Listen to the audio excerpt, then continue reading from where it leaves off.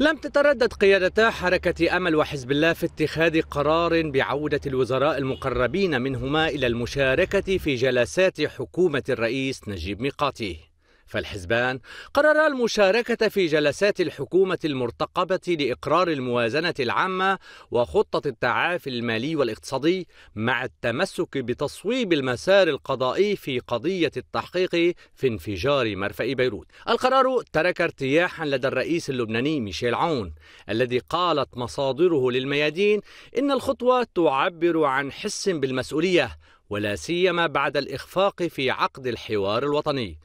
وهي أيضا استجابة وأهم شيء للضرورة الملحه لمعالجة أوجاع الناس يعني استجابة للناس أيضا وللشعب اللبناني ليتطلع إلى معالجات وإلى إجراءات إنقاذية مطلوبة إنها تحصل. كتله الرئيس ميقاتي أثنت على القرار وأكد النائب نقول نحاس أن الحكومة ستعود للاجتماع خلال أسبوع وأن الموازنة ستقر.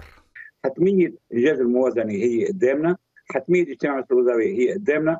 الوقت كثير مهم بس ما هو يعني يلي بده يحدد مصير العملية أو لا. إذا ما أسبوع 10 أيام ولكن هي حاصلة حتما.